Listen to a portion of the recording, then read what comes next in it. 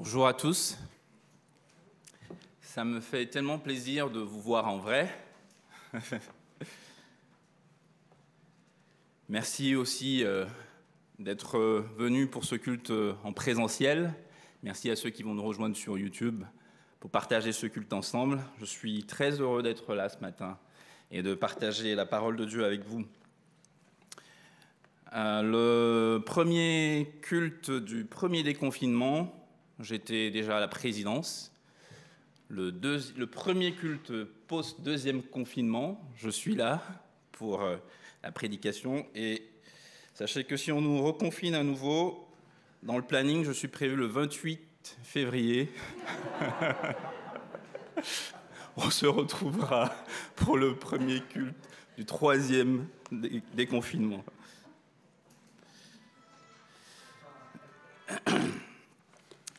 Donc ce matin, je voudrais partager la parole de Dieu avec vous sur euh, justement cette histoire de Noël.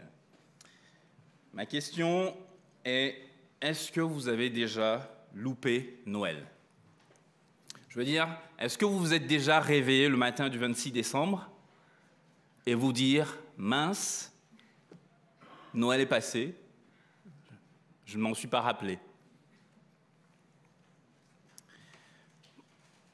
Pour ne pas rater euh, un événement auquel nous sommes conviés, on a tous nos techniques, on colle un post-it sur le frigo, on met un rappel sur notre agenda, on se met une alarme sur notre, téléphone pour ne pas oublier. Mais pour Noël, il n'y a pas besoin de faire ça.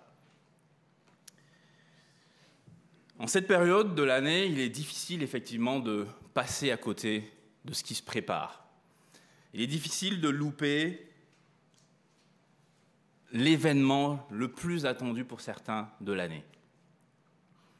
Dans les villes, dans les villages, c'est la même effervescence. Shopping, cadeaux, présents, retrouvailles, lumière, guirlandes, sapins aux mille couleurs, partout.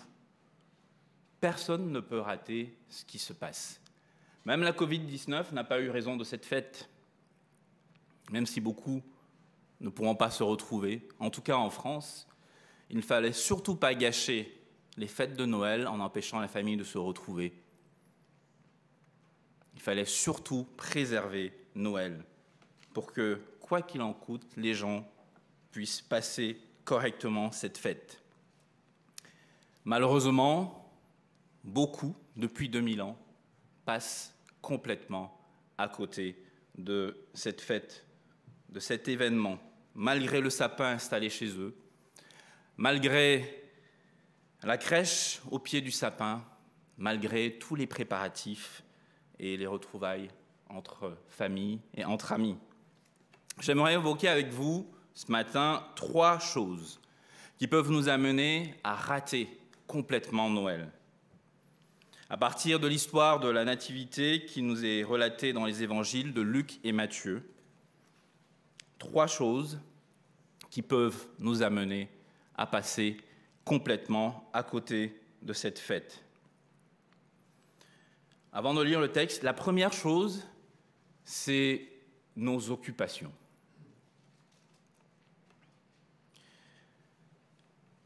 Joseph et Marie, alors qu'ils étaient, alors qu'elle était enceinte, sont partis de la Galilée, de Nazareth en Galilée, pour se rendre à Bethléem en Judée environ 150 km. À l'époque, il n'y avait pas de voiture, il n'y avait pas d'autre moyen de transport qu'à dos d'âne ou de chameau. Et ils étaient obligés de faire ce voyage à cause de l'édit de l'empereur César Auguste qui obligeait tout le monde à aller se faire recenser dans sa propre ville, dans sa ville d'origine. Ils arrivent à Bethléem et il y a déjà plein de monde. Toutes les structures d'hébergement étaient prises et il n'y avait aucune place. Ils n'avaient pas trouvé de place pour eux.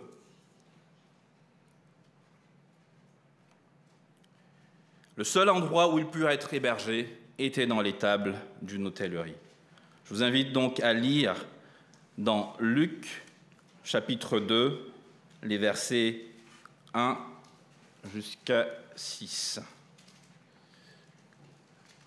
Ah.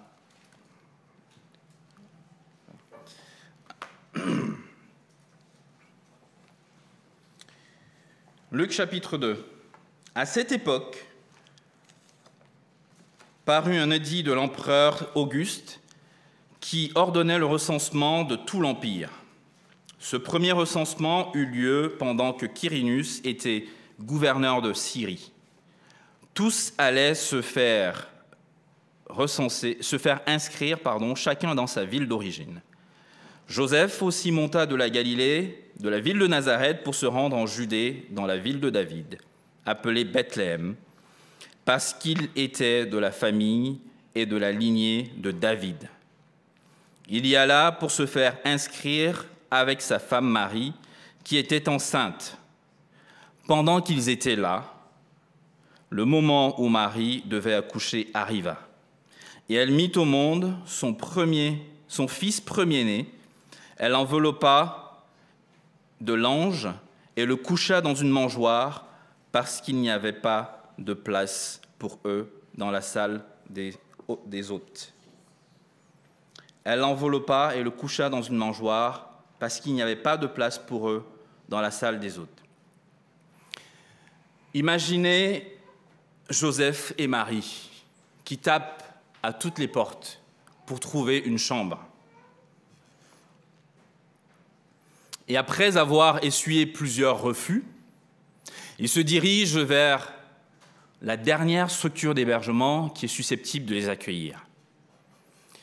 À leur arrivée, ils tapent à la porte et avant même d'ouvrir la bouche pour demander si une, chambre était encore disponible, le proprio sort et leur dit Si c'est pour une chambre, je suis désolé. Je ne peux vous recevoir, nous sommes complets. Il n'y a plus aucune chambre dans mon établissement. La Bible ne nous donne pas ces détails-là, mais j'ose imaginer que peut-être le serviteur de, cet homme a vu l'état de Marie et leur a proposé les tables pour être au moins au chaud. Et c'est dans cette étable-là que va naître Jésus. C'est dans cette étable-là que Dieu, venu sur terre, va naître. Et Marie va mettre Jésus dans une mangeoire. Une mangeoire, vous savez, c'était le récipient dans lequel on mettait le repas pour les bêtes. Jésus va naître dans une mangeoire, dans une étable, parce qu'il n'y avait pas de place pour eux dans cette auberge ou cette hôtellerie. Les affaires marchaient bien pour euh, euh, cet hôtelier. Le business familial fonctionnait. C'était le jackpot avec le recensement. Toutes les chambres étaient occupées.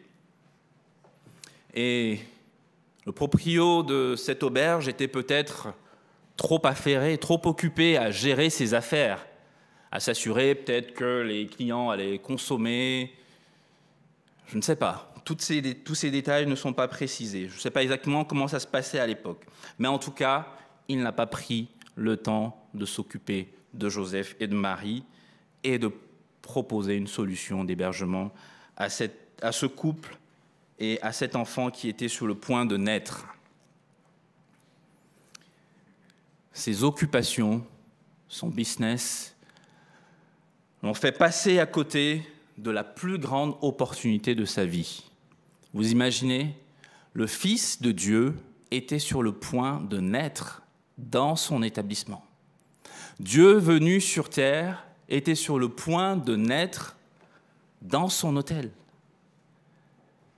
Il aurait pu prendre part à ce projet extraordinaire, mais il est passé complètement à côté parce qu'il était trop occupé pour faire une place à Jésus dans son hôtel. Vous imaginez la puissance d'une telle pub? Il aurait pu afficher euh, sur la devanture de son hôtel Le Fils de Dieu est né ici. Je vous garantis que s'il avait su que, qui était cet enfant, il lui aurait certainement trouvé de la place. Et ce n'est pas seulement pendant les recensements que son hôtel aura été plein, mais son hôtel aura été plein tous les jours, de génération en génération pour sa famille. Les gens viendraient de quatre coins du monde pour visiter et dormir dans l'hôtel qui a vu naître le Christ. Il est passé à côté de la plus grande opportunité de sa vie parce qu'il n'avait pas de place pour Marie et Joseph et pour cet enfant qui allait naître.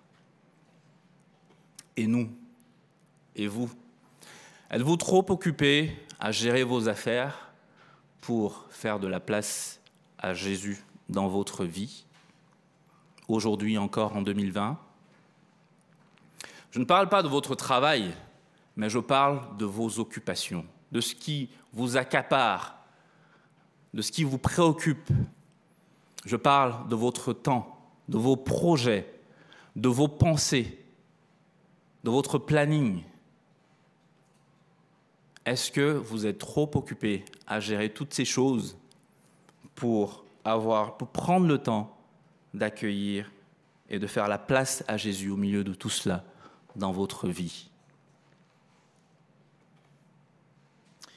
Vous savez, pendant la période de Noël, on peut être affairé et occupé aux préparatifs, à gérer les préparatifs de Noël, et passer quand même complètement à côté de cette fête, parce que nous n'avons pas pris le temps de faire la place à celui qui doit être à l'honneur en ce jour, parce que c'est de lui dont nous nous souvenons en ce jour de Noël.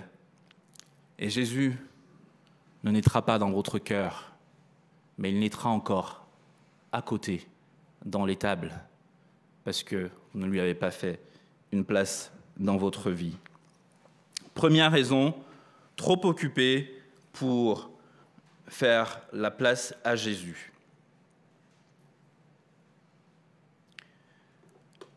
Deuxième raison, notre religiosité. Je veux parler ici du fait qu'on est devenu trop familier avec l'histoire de Noël que cela ne nous parle plus. On connaît l'histoire de la naissance de Jésus, l'histoire de Marie et Joseph, l'histoire des mages. On les connaît tellement bien qu'on en est blasé aujourd'hui. Cette histoire est devenue une tradition autour de laquelle nous avons rajouté encore et encore d'autres traditions.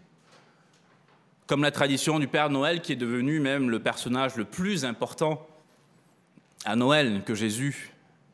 Faites le sondage parmi les enfants, vous verrez la notoriété de Jésus et celle du Père Noël. On a rajouté des traditions sur traditions au point qu'on est passé complètement à côté du but premier. On ne se souvient même plus du but premier de la célébration de Noël. Posez la question autour de vous. J'ai fait le sondage euh, parmi mes collègues. Jeudi, étaient quatre dans, dans mon agence, et je leur ai posé la question de savoir que vous évoque Noël. Je leur ai dit, donnez-moi trois, trois propositions. Voici ce qu'ils m'ont répondu. Famille, entre parenthèses, fête familiale, cadeau, repas entre parenthèses, vacances. Deuxième, famille, partage, rêve. Troisième réponse, cadeau, famille, vacances. Quatrième réponse, famille, repas, apaisement. C'est légitime aucune réponse ne fait allusion à la naissance de Jésus-Christ. C'est quand même fou. Sachant que parmi mes collègues, je sais au moins qu'il y avait une qui avait une crèche sous son sapin. Parce que quand je lui ai montré la photo de mon sapin, elle m'a dit, mais comment ça, tu n'as pas de crèche? On peut répéter perpétuer des traditions religieuses et passer quand même à côté de la fête, à côté de l'événement le plus attendu de l'année. On peut rater Noël.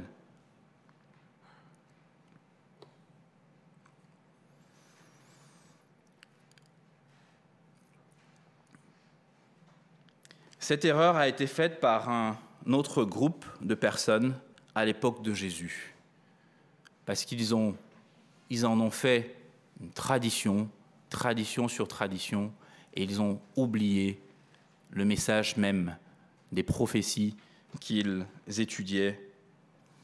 Je parle de l'exemple des chefs religieux. Et je vous invite à lire dans Matthieu au chapitre 2, et nous lirons les versets 1 à 11. Matthieu chapitre 2, versets 1 à 11. Jésus naquit à Bethléem en Judée à l'époque du roi Hérode. Or, des mages venus d'Orient arrivèrent à Jérusalem et dirent Où est le roi des Juifs qui vient de naître? En effet, nous avons vu son étoile en Orient et nous sommes venus pour l'adorer. Quand le roi Hérode apprit cela, il fut troublé et tout Jérusalem avec lui. Il rassembla tous les chefs des prêtres et spécialistes de la loi que comptait le peuple et leur demanda où le Messie devait naître. Ils lui dirent À Bethléem en Judée, car voici ce qui a été écrit par le prophète. Et toi, Bethléem, terre de Juda, tu n'es certes pas la plus petite parmi les principales villes de Juda, car de toi un chef sortira un chef qui prendra soin d'Israël, mon peuple. Alors Hérode fit appeler en secret les mages. Il s'informa soigneusement auprès d'eux du moment où l'étoile était apparue. Puis il les envoya à Bethléem en disant Allez prendre des informations exactes sur le petit enfant. Quand vous l'aurez trouvé, faites-le moi savoir afin que j'aille moi aussi l'adorer. Après avoir entendu le roi, ils partirent. L'étoile qu'ils avaient vue en Orient allait devant eux jusqu'au moment où, arrivée au-dessus de l'endroit où était le petit enfant, elle s'arrêta. Quand ils aperçurent l'étoile, ils furent remplis d'une très grande joie. Ils entrèrent dans la maison, virent le petit enfant avec Marie sa mère, se prosternèrent et l'adorèrent. Ensuite, ils ouvrirent leur trésor et lui offrirent en cadeau de l'or, de l'encens et de la myrrhe. Ce qui est intéressant ici, c'est que le Fils de Dieu était sur le point de naître. Et aucun religieux, aucun chef religieux n'était impliqué dans cet événement. Alors que dans Luc au chapitre 2, si vous continuez le texte, les anges annoncent la, venue de Jésus au berger, qui était pourtant dans la classe la plus basse de l'échelle sociale à l'époque, alors que des païens viennent d'Orient, d'un pays lointain, pour s'intéresser à la naissance de cet enfant, les chefs religieux, qui connaissaient pourtant les textes de l'Ancien Testament, les prophéties qui annonçaient la naissance de cet enfant, eux qui étaient les gardiens de la tradition, n'était pas dans le coup. Il passait complètement à côté de la venue du Sauveur parce qu'ils étaient habitués à débattre sur ces textes. Ils en avaient fait une tradition. Ils avaient transmis à leurs enfants de génération en génération pendant des siècles. C'était devenu pour eux une tradition au point où parce que ces textes étaient devenus trop familiers, ça ne les émerveillait plus, ça ne leur parlait plus. Les mages viennent de loin pour voir Hérode. On ne sait pas exactement qui étaient ces, ces mages, ni leur nombre, ce qu'ils faisaient dans la vie, mais peut-être étaient-ils des astrologues, peut-être qu'ils euh, étaient en contact avec les juifs de la diaspora, ils avaient peut-être entendu parler des prophéties de l'Ancien Testament. Peut-être qu'était-il au courant de la prophétie de, de Balaam dans Nombre 24, 17, qui parle d'un astre qui sortirait de, Jacob. La Bible ne nous le dit pas, mais ce qu'on sait, c'est qu'ils avaient repéré dans le ciel un astre particulier. Et ils avaient fait le lien avec ce roi des Juifs. Ils ont suivi l'étoile qui les a conduits jusqu'à Jérusalem. Et ils sont allés voir Hérode, le roi, en pensant trouver le roi des Juifs, peut-être dans un palais. Où est le roi des Juifs qui vient de naître? Nous avons vu se lever son étoile et nous sommes venus lui rendre hommage. Hérode devait bouillir intérieurement, parce que pour lui, c'était lui le roi des Juifs. Et il fait appeler les chefs religieux et lui, dit, et lui disent Expliquez-moi ce qui se passe. Voici ce que me disent les mages. Pouvez-vous me dire où doit naître le Messie? Tous les Juifs connaissaient les prophéties concernant la naissance de Jésus. Comme je disais tout à l'heure, ils avaient été enseignés à ce propos et la tradition avait été transmise depuis des siècles. Ils attendaient impatiemment ce jour. Ils savaient d'ailleurs où devait naître le Messie. Et quand Hérode a appelé les chefs religieux pour leur demander où devait naître le roi des Juifs, le Messie, ce n'était pas euh, ce n'était pas difficile pour les chefs religieux de lui donner la réponse. C'est à Bethléem. Car voici ce que dit le prophète dans le livre de Michée au verset 1, 5, chapitre 5, verset 1. Ce qui est étonnant, c'est que malgré la visite des mages, malgré la convocation d'Hérode, des chefs religieux par Hérode pour une réunion d'urgence, malgré tous les mois que cela a suscité dans Jérusalem. Il nous a dit qu'à l'annonce de, cette naissance, Hérode lui-même était troublé et euh, Jérusalem était troublé avec lui. Malgré tout cela, malgré les prophéties, les textes qu'ils avaient étudiés d'année en année, malgré les signes qu'ils connaissaient, les chefs religieux, religieux passaient complètement à côté de cet événement. Et aucun d'eux ne fit l'effort d'aller au moins à Bethléem pour vérifier. Vous savez à quelle distance se situe Bethléem de Jérusalem? Seulement 8 kilomètres. Les chefs religieux n'ont pas fait l'effort de faire 8 kilomètres juste pour vérifier ce qui était en train de se passer.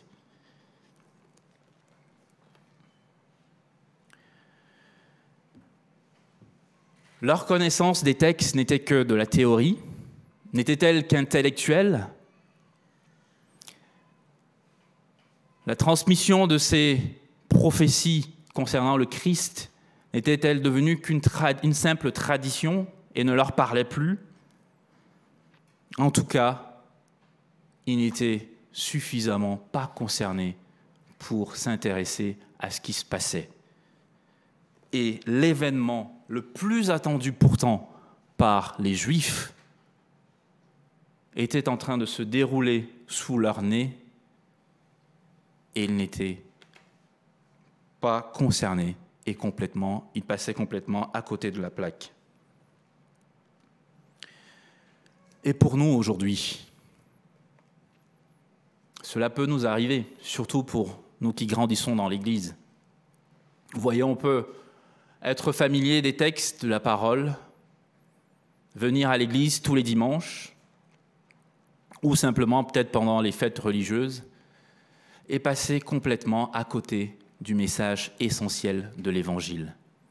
On peut fêter Noël chaque année, mais sans réellement se poser la question de savoir à quoi cela sert-il réellement. Que signifie cette fête qui est célébrée de par le monde entier, par des millions de gens. Qui est ce petit enfant qui est né dans l'étable Qui est ce Jésus qui est venu? Qui est ce Dieu qui est venu sur terre dans l'étable Une paille et sa couchette. Pour un roi, quel abaissement! Qui est ce roi? Qui s'abaisse autant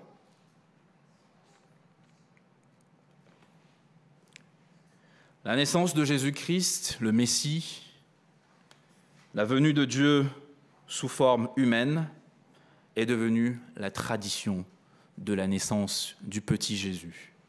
La tradition des trois rois mages, la tradition du sapin avec ses lumières, la tradition du Père Noël avec ses cadeaux, à tel point que le monde ne sait plus aujourd'hui pourquoi il se réjouit en ce jour de Noël. Pourquoi Dieu est venu dans le monde et qu'est-ce que cela implique pour nous aujourd'hui? Et si vous, vous n'avez pas encore saisi la raison de cette venue, vous n'êtes pas différent des chefs religieux à l'époque de Jésus. Jésus n'est pas venu créer une religion, mais Jésus est venu créer, est venu rétablir une relation, la relation avec Dieu. Et si vous ne le comprenez pas, alors vous passez encore aujourd'hui complètement à côté de la célébration de Noël, même si vous participez à tous les préparatifs, à toutes les traditions inventées autour de cette fête. Scott parlait tout à l'heure de la lumière, des ténèbres. Vous pouvez mettre de la lumière sur votre sapin et demeurer malgré tout dans les ténèbres. Si vous n'avez pas encore compris que Jésus est la lumière du monde qui chasse en nous les ténèbres. Trop affairé pour faire de la place à Jésus, trop familier avec la religion, les traditions chrétiennes, que cela ne nous parle plus. Et troisième raison, la peur. La peur peut nous amener à passer également complètement à côté du sens profond de Noël. Aujourd'hui encore, en 2020, c'est triste de voir que certains ont peur de la fête de Noël. Vous allez me dire, mais personne n'a peur de la fête de Noël. Je ne parle pas de la fête de Noël en tant que fête, mais beaucoup ont peur du message réel de Noël. Et c'est pour ça que beaucoup refusent toute allusion à la naissance de Jésus-Christ pendant cette fête. Et les gens la combattent. Les gens combattent les signes de la nativité. Il y avait eu un, débat chez nous en France où certains élus ne voulaient plus qu'on mette des signes de la nativité dans les lieux publics parce que ça les dérange. C'est de la tradition chrétienne et les gens ont peur du message réel de Noël. Et la peur, ce n'était pas le problème du proprio de l'auberge, ce n'était pas le problème des chefs religieux, mais c'était le problème d'Hérode.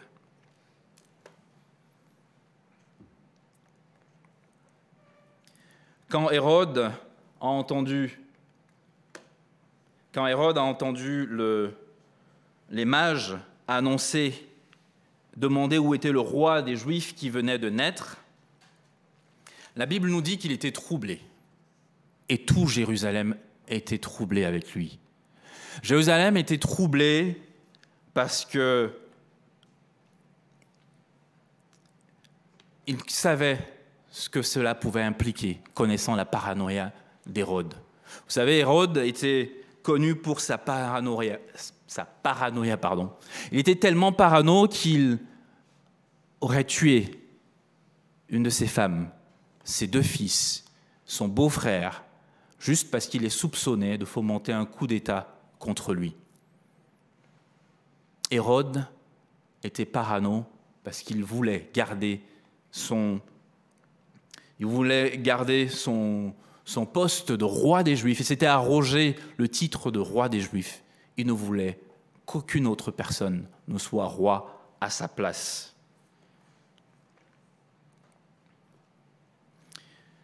Il était donc troublé parce que il sentait son règne menacé par cet enfant qu'on appelait le roi des Juifs. Menacé à tel point qu'il complota secrètement dans son cœur de le tuer. Quand il se fit confirmer par les chefs religieux que les prophètes annonçaient bel et bien la naissance de ce fils, de ce roi des Juifs, du Messie à Bethléem, il nous est dit qu'il fit venir secrètement les mages pour leur demander d'aller et de lui ramener, rapporter toutes les informations nécessaires concernant cet enfant. Mais quand il ne vit pas revenir les, les mages, si vous lisez un peu plus loin, parce qu'un ange les avait prévenus du projet maléfique d'Hérode, la Bible nous dit qu'il devient furieux. Il tomba dans une colère noire, à tel point qu'il décida de faire tuer tous les enfants âgés en dessous de deux ans, parce qu'il ne voulait pas qu'une autre personne devienne roi à sa place. C'est fou. C'est ce qu'on a appelé dans l'histoire le massacre des innocents. Vous n'avez certainement pas ce type de peur. Mais vous connaissez peut-être dans votre entourage des gens qui ont peur de confier leur vie à Christ, peur de connaître Jésus et de leur donner leur vie. Parce qu'ils ont peur qu'en devenant chrétiens, ils vont perdre le contrôle. Ils vont perdre leur liberté. Ils vont perdre leur joie de vivre. Ils, ont peur de devenir peut-être des fanatiques. Mais comme je disais tout à l'heure, Jésus n'est pas venu pour créer une religion. En réalité, lorsqu'on devient chrétien, on ne devient pas plus religieux, on devient plus humain. Tant qu'on n'est pas connecté avec son Créateur, on a peur de perdre sa joie de vivre, sa vie, mais en réalité, tant qu'on n'est pas connecté avec son Créateur, on ne vit pas réellement. On existe simplement. Vous ne pouvez pas découvrir le but de votre vie à moins que celui qui vous a créé ne vous le révèle. Comprenez bien que nous sommes créés par Dieu et pour Dieu. Et tant que nous ne comprenons pas cela, notre vie n'a en réalité aucun sens. La raison pour laquelle tu vis, pour laquelle je vis aujourd'hui, c'est parce que Dieu a décidé de me créer, de te créer, pour t'aimer et pour que tu l'aimes en retour. Dieu connaît tout de nous et nous ne connaissons presque rien de lui. Et c'est pour ça qu'il a voulu se révéler par la personne de Jésus-Christ, son Fils, pour nous montrer qui il est réellement. Jésus a dit, celui qui m'a vu a vu le Père. Vous voulez savoir à quoi ressemble Jésus, à quoi ressemble Dieu, pardon? Regardez à Jésus, lui qui est l'image du Dieu invisible. Quelle était la principale crainte d'Hérode? Je ne veux pas qu'une autre personne soit au contrôle soit sur le trône, si ce n'est moi. Est-ce que cela ne nous parle pas? Je ne veux pas que qui que ce soit me dicte ce que j'ai à faire. Je veux faire mes propres choix, je veux prendre mes propres décisions, je veux avoir mes propres mes fréquentations que je désire, je veux décider de mon orientation sexuelle, de mon genre, de tout ce que je veux, et personne d'autre n'a quoi que ce soit à me dire, à me dicter. Et vous savez quoi? Voilà pourquoi les gens ont peur du message de Noël. Parce qu'ils ont peur de mettre leur foi en Dieu, de donner leur vie à Christ, avec tout ce que cela implique, de laisser régner Christ en nous. Et ça, c'est la mentalité d'Hérode. Personne d'autre, aucun d'autre, aucun autre roi dans ma vie. Et cette peur l'a empêché de s'intéresser pour les bonnes raisons à cet enfant. Lui, le roi des Juifs autoproclamé, aurait pu rencontrer le roi des rois. Mais il est passé à côté de cette opportunité d'être au premier rang de ceux qui ont vu Dieu venu sur terre dans ses premiers jours. Comment donc ne pas passer à côté de Noël pour terminer? Premièrement, arrêtons de remplir notre vie de choses futiles. Ne laissons pas nos occupations devenir des préoccupations et nous empêcher de laisser la place à Jésus dans notre vie. Ne soyons pas trop occupés pour y penser, trop occupés pour prendre le temps de lui ouvrir notre cœur. La Bible nous dit que Jésus se tient à la porte de notre cœur et il frappe. En ce Noël de 2020, vas-tu lui ouvrir ton cœur aujourd'hui? Ou vas-tu le laisser dehors parce que tu es trop occupé et trop affairé